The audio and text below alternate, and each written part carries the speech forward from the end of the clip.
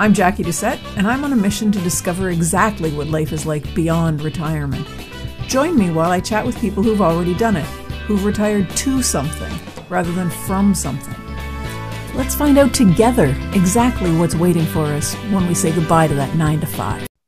Hi, everyone. Welcome to another episode of Beyond Retirement.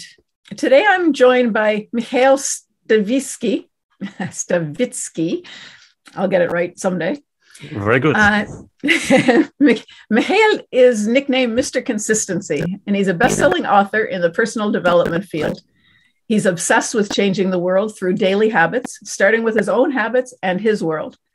Michal preaches and practices consistent daily action, and he believe, believes that this is the means to achieve success in any area of life, from parenting to business.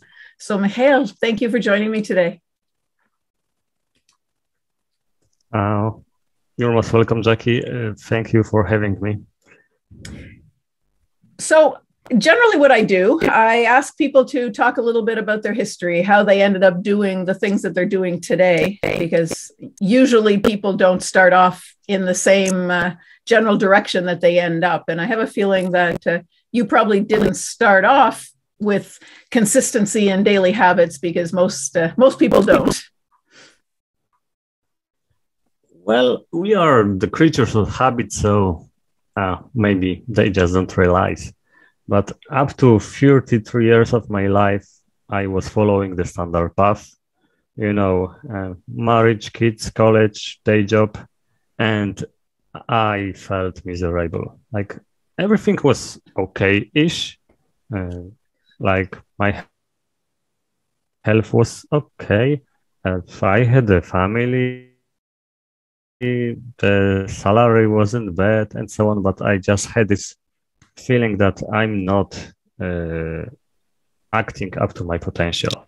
Uh, and it, that, that was one thing what, which was very frustrating. The other was that, well, I was very self critical, uh, full of self doubts. So I just talked myself out of most attempts to to improve my life.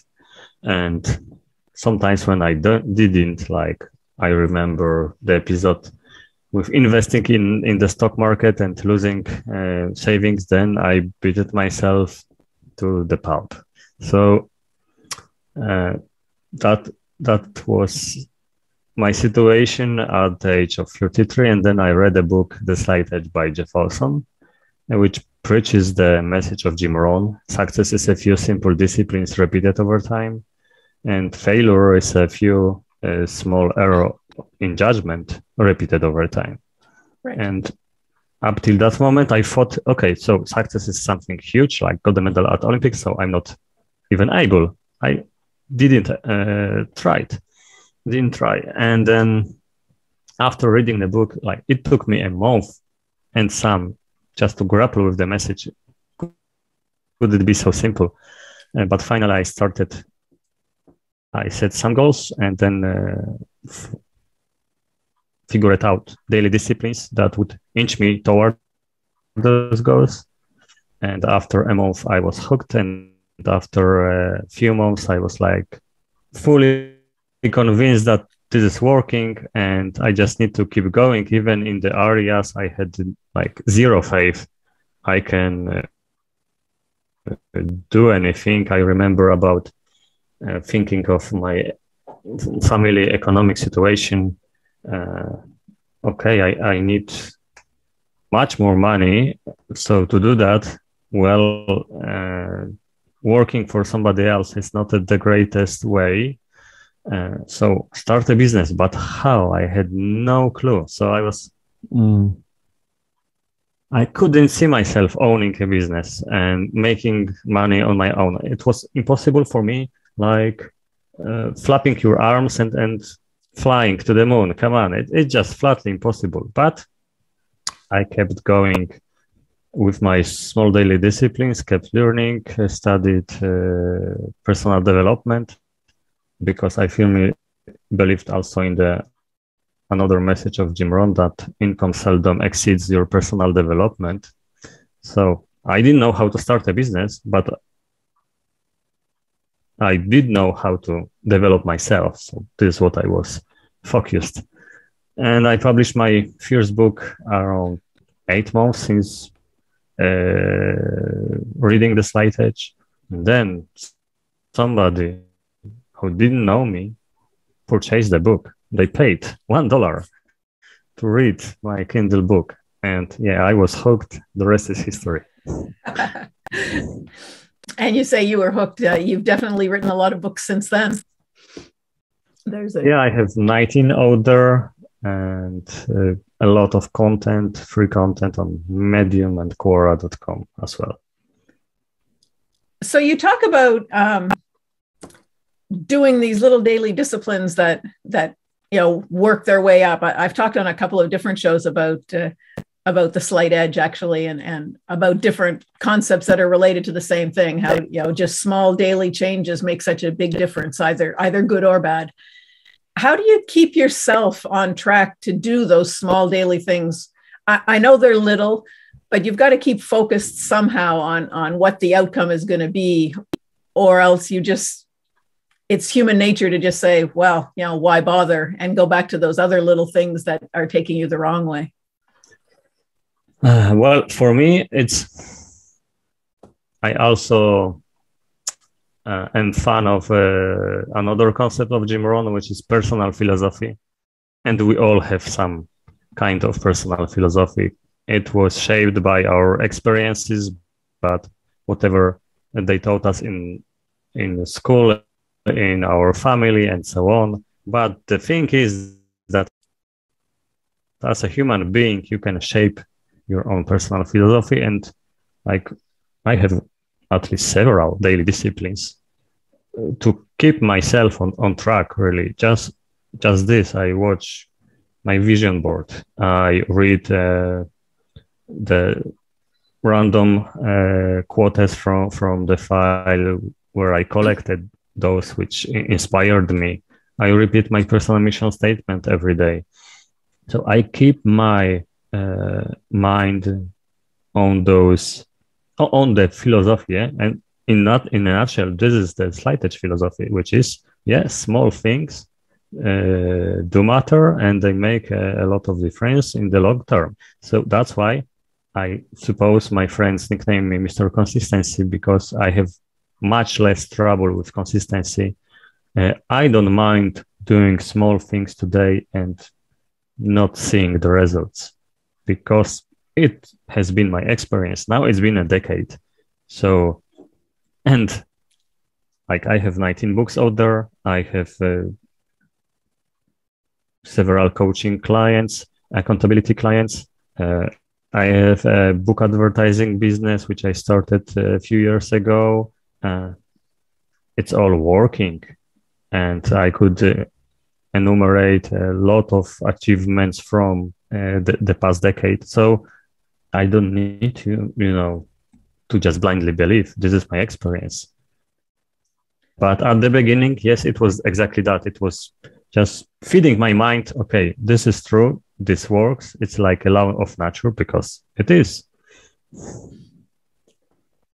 So for for your um, for your business, you're working primarily with people who are um, business people? Do you have uh, people who, for lack of a better thing, aren't doing something like people who are either employees or people who are retired? In the case of the uh, the listeners here, how would this um, how could this be uh, attributed to them? How could it be uh, used by them?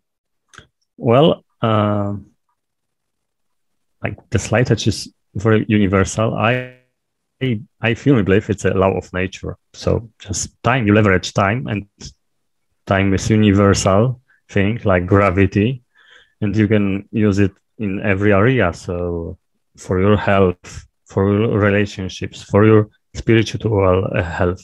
So whatever is your focus, uh, is your goal.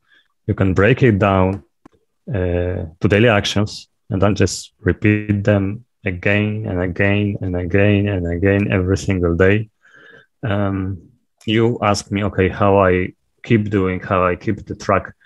Well, I'm very fond of using other people for that. And I think it's also very universal. We are social uh, animals. So I have daily accountability partner. Every morning we call each other and tell, okay, what we'll do this day and uh, challenge each other. So this daily action would be meaningful in the long term. Yeah, it's not just being busy for the sake of being busy. Uh, but you are asking how it is, it is applicable for common people. Well, when I started, I was absolutely normal. I had a day job, mortgage to pay off, three kids, uh, was church committee member. Uh, I neglected my personal development for like a lot of years, like 14, 15. And I sat down and in 15 minutes, I figure out, okay, several goals for each of the main areas of my life. Yeah, I wanted to uh, have better health, uh, spirituality, better relationships, uh, better finances, and so on. Figure out something. Then I, of, I was in my situation, and you are the best person in the world to assess your own situation. Okay, so if I want to lose weight, what can I do every day to achieve uh, that outcome? And that's just the plan. Of course, it will be modified along the way, but it's a start. And like the main thing to remember when you are breaking those big goals into daily actions is to keep the daily action easy, at least easy in your mind. Yeah. Uh, for example, at that time, I was doing quite a lot of push ups. That was my daily fitness routine. And I added pull ups to it. Yeah. So for most of people, it's like beyond the uh, abilities uh, to to do 100 push-ups not to mention then jump on the uh, bar and, and do 20 pull-ups. But you are in your situation and you know what's possible for you. Keep it easy. For me it was easy seriously. Uh, but that was my easy. Uh, relatively easy was also like I, I thought okay how can i make more money? I have no clue. But I was database administrator at that time. So, well, I will study database documentation for 10 minutes a day. I didn't like it very much, but 10 minutes a day, well, in my mind, okay, I could do practically every, anything in, uh, 10, for 10 minutes uh, at a time. So I did that. And despite the fact I didn't like it very much in a year or maybe two, max two years, it translated into me uh, passing some uh, professional exams, getting certificates, and a better job. Uh, so I didn't think of writing books because back then in September 2012, I didn't even, uh, I, wasn't even aware that I want to be a writer. Yeah. So I couldn't set such a goal.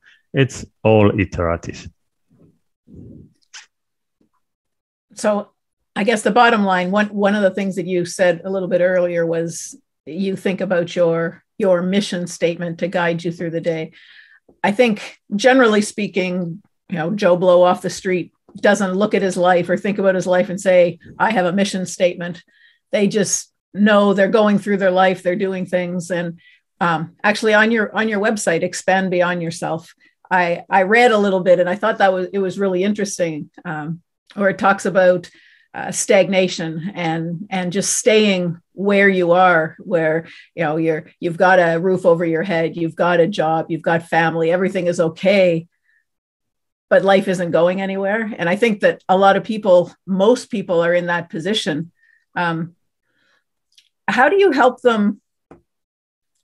Do people come to you because they're dissatisfied or do people come to you um, thinking maybe you can help them be better at something without being dissatisfied with their life first. I don't know if that makes sense. Mm-hmm. Yeah, uh, both ways are uh, happening. Like some people just feel okay, like I, like you just talk over. Okay, there is this life, and me before fifty three.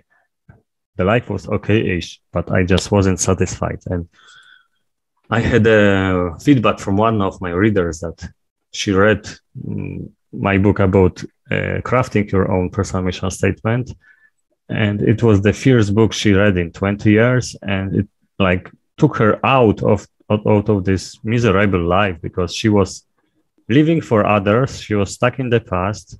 Like the kids were grown ups. Like she didn't really know what to do with her life. And it really, the, the book uh, highlighted to her that it's her life and she's in charge uh, of actually figuring out what I'm fond of.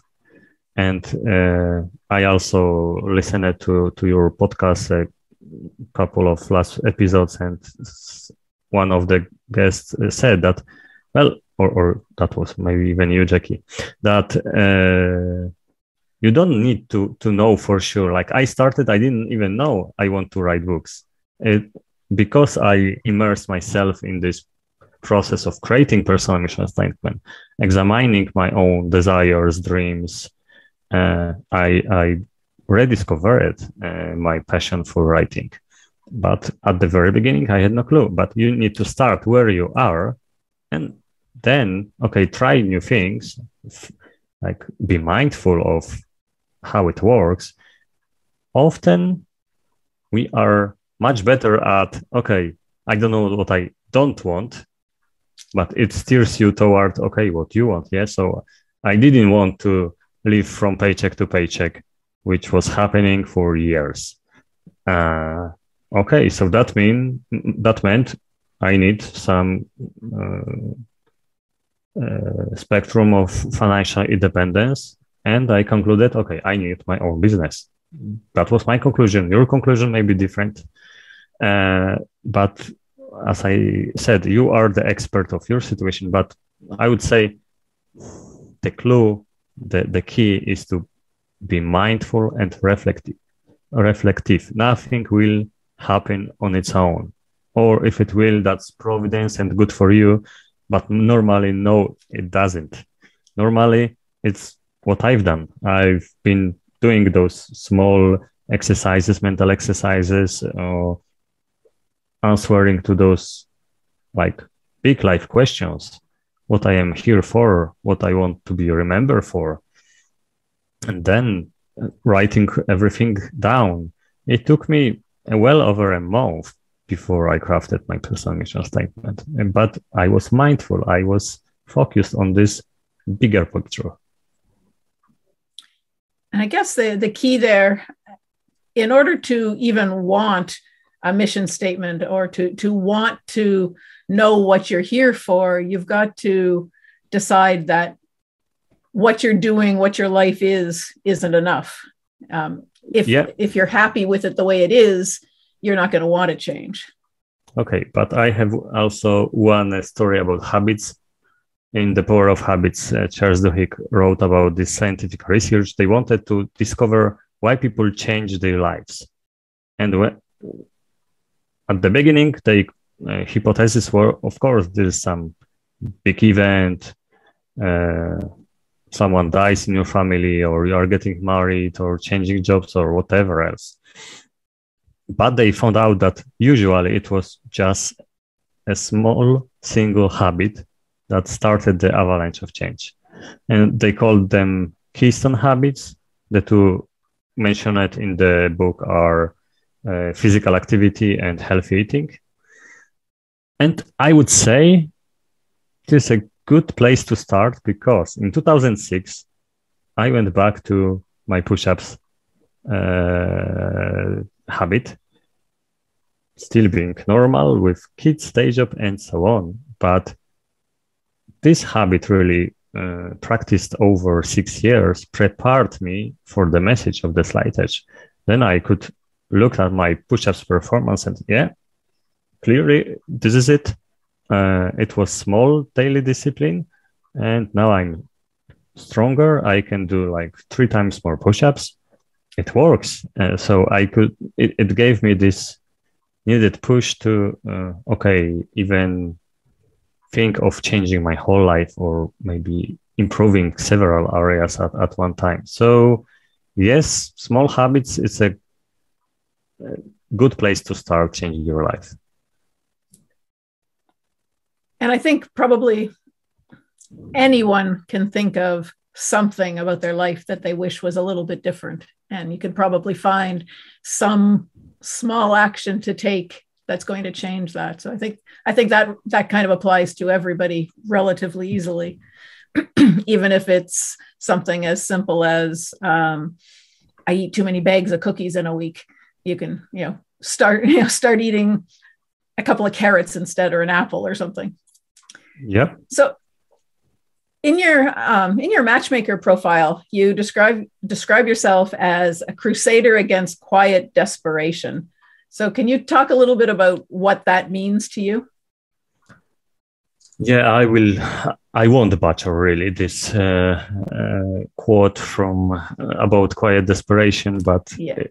Uh, I don't remember it uh, very well. But it's about this: like most people live in quiet desperation, like I lived before my transformation. So our own programming keeps us down in our lives however they are, whatever they are. Sometimes it's very, uh, very sad, like the lives we are continuing full of abuse and, and torment and so on, just because in our minds there is nothing more for us. And, but it's even like worse in case when you are in this golden cage because if you are in pain uh, when you are abused you can reach this pain point that you you will say that's enough but if it's like if you are slow cooked like this proverbial frog uh, you it's it's like you are pretty much good the same all the time but in the end your life is like uh, without any passion, uh, without happiness. It's what uh, this Australian nurse discovered that at the end of, of life, most people have regrets of what they haven't done, uh, not what, uh, not about what what they have done, uh, and yeah, that's this quiet desperation that because we are so full of potential. Come on, every child is a genius. We're so full of potential. We can do so much different things, but we don't even try. And this is what I meant. Just don't agree on the status quo. Try to be more. And it doesn't matter what you're trying to be more in, just try to elevate something. Try to, try to change a, a little bit yeah like uh, Viktor Frankl said that we are getting the meaning the sense of our lives just from three areas unavoidable uh, uh, torment like you cannot avoid it. So for example you are mortally ill but you still can sen- find a sense of your life in this. Love is another and the third is work. And all the three of those categories are very human. Like everybody suffers a bit, uh, everybody loves and want to be loved, and we all do something. So uh, it, it's not that you you have to start the next Microsoft or get this golden medal at Olympics. Nope, it's just feeling your own purpose, your very individual uh, own thing and i think that's that's big at this point as people start to live their life you know beyond retirement they a lot of people start to think that they don't have a purpose anymore that they don't have any reason to keep going and that's why you know life just sort of stagnates and i think i think this is a, a really good way to just sort of remind yourself that that you do have a reason to be here there you know how you find that might be uh, might be unusual. I don't know. It, it's hard to say how you would go about figuring it out. Maybe reading your book about finding your mission. I know that might be the might be the the way to do it. But do you have any suggestions for um, someone who is feeling a little bit lost or a little bit, you know, kind of dangling at loose ends? What can they do? Yeah, never stop looking.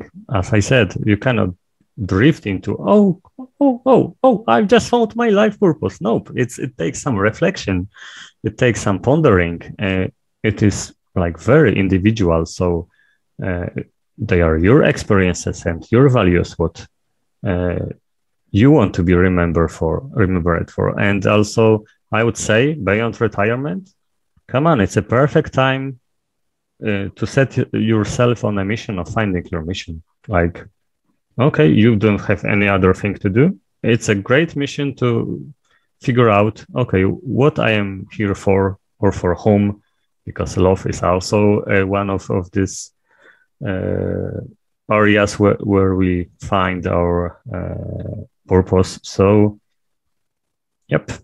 And uh, like the simplest exercise, which is on a surface quite grim, especially if you are a bit older than 33, uh, was imagining my funeral and what I want others to say about me. Okay, that's how I figure it out my my values. Uh, this is something I would like to be remembered for, and uh, like simple exercise: sit down, close your eyes, imagine the funeral, people around, your friends, your family, your workmates, and listen to the conversations, listen to the eulogy, and try to write your own, the, the, the perfect one which you would wished for. And this really was for me very moving and uh, it opened my eyes. Okay, if I continue how I am right now, there is no chance I will arrive at this point. So I need to change a lot. I guess, and there's not too many people who are going to sit down and close their eyes and imagine their funeral and having people just say, "Ah, oh, yep, she was there. You know, she lived," and yep, and nothing yep. else. Yeah. So that yeah, that's a that's a, a very it's, strong exercise. And it's not about really uh, what you achieved, but who you were. Who you are. I, I remember my mentor telling about his dad who was just a construction worker.